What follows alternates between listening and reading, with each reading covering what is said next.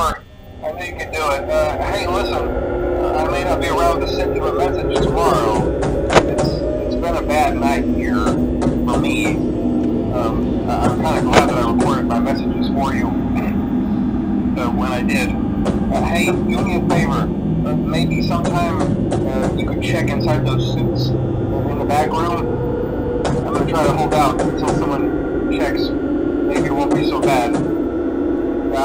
I, always wondered what was in all those empty heads back there. You know.